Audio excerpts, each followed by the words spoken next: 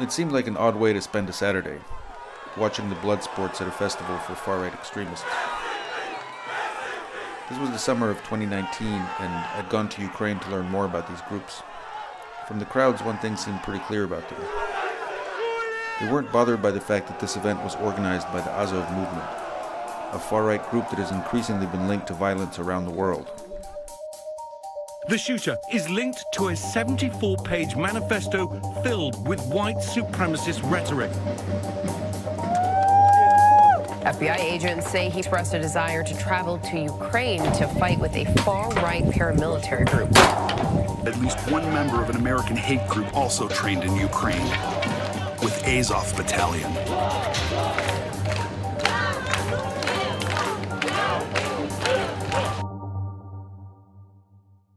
According to the FBI, domestic terrorists killed 39 people in fiscal year 2019, making it the most deadly year for domestic terrorism since the 1995 Oklahoma City bombing.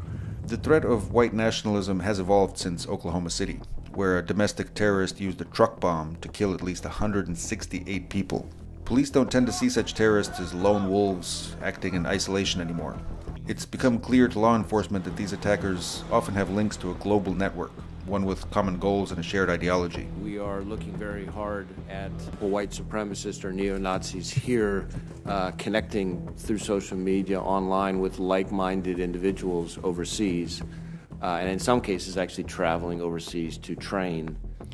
Over the last few years, experts in violent extremism have grown especially alarmed about the Azov movement. The group emerged from the revolution that swept across Ukraine in 2014 uh, and it has gotten a lot stronger amid the ongoing war with pro Russian forces in eastern Ukraine. The fighting in that region has become kind of ideal breeding ground for militias like Azov. At their public events, one thing that surprised me was how many Ukrainians tend to see Azov not as militants or extremists, but as war heroes. In Kiev, the capital, I watched an Independence Day parade where veterans of the Azov battalion marched alongside other volunteer militias, surrounded by cheering crowds, who thanked them for defending Ukraine against Russia. But even at the march, there were signs of the far right ideology that's so common inside Azov.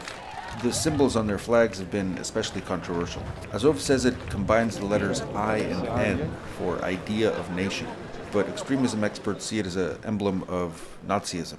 The official symbol of Azov, it's a version of Wolfsangel.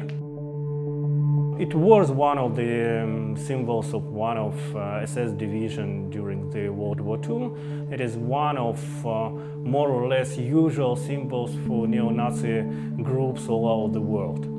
And it's not just about their symbols. When it was founded in 2014, Azov drew many of its commanders and recruits from Ukraine's most notorious far-right groups, including outright neo-Nazis. We basically recruited everyone who could hold weapons in their hand when Ukrainian state was paralyzed and the defense of Ukrainian state was totally in the hand of Ukrainian volunteers.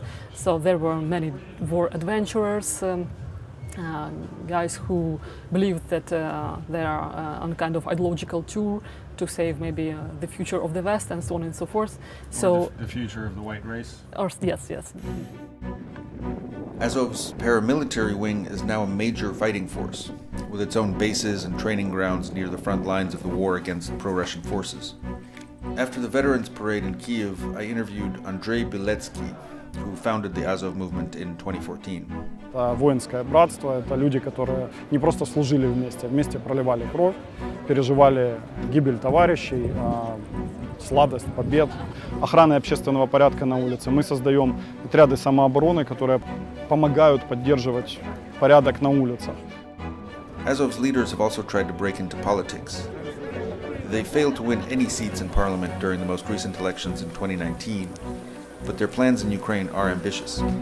Сьогодні ми відпочиваємо, але навіть відпочиваючи, ми пропагуємо наші нові українські цінності, бути сильними і сміливими, бути єдиними і відчувати братерство своєї нації.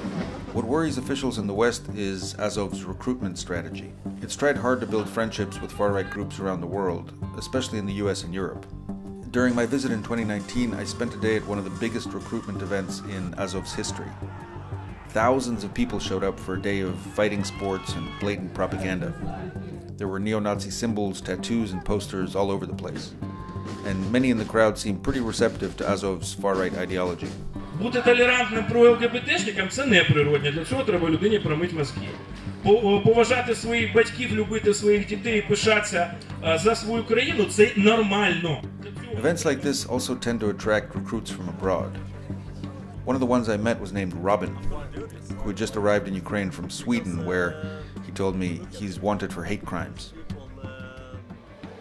This uh, is hard to explain the surroundings for someone who's watching this. You know, it's surreal. It's like uh, I don't know. It's like something you read about uh, the great Germany before. You know, in the 1920s. It's, uh, it's a revival of the um, Indo-European soul, and it's all happening here in Ukraine.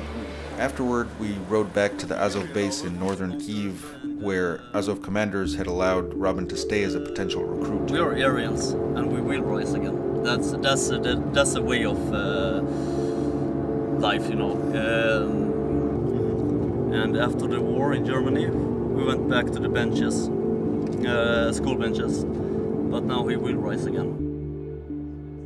Are they neo Nazis as an organization? No. Have they had neo Nazis in their organization? I would say look at the U.S. Army, and you would find neo Nazis as well. Dave is an American expat and U.S. military veteran who has volunteered to help Ukraine's National Guard. And he's met a lot of the recruits who'd come to join Azov. You only need one of these guys to kind of go home and, and uh, commit an act of terrorism to then really damage the reputation of, of Ukraine uh, in, in Oh, the eyes in the yeah. eyes of the world, right? So that I mean that's really a risk that Ukraine faces. Do you think they're taking it seriously enough? No. Yes. A few weeks later, Robin, the Swede I met at that festival, wrote me that he was going to the front lines to join the fight. With recruits like this, it's little wonder that US officials see Azov as a threat. Experts point out that the pace of white supremacist terrorism has intensified, with new incidents frequently filling the headlines. 22 gunned down at a Walmart in El Paso, Texas, two killed near a synagogue in Halle, Germany, nine more in an attack on two shisha bars near Frankfurt, and a series of arrests exposing far right terror plots across the US and Europe. One tally reported an increase of 320% in such attacks in Western countries between 2014 and 2019. Я знаю, я вірю, я переконаний, що ми готові до боротьби, що ми готові бути сміливими і сильними, що ми готові перемагати. Бо за нами Україна, а перед нами наша остаточна велика перемога. Слава Україні!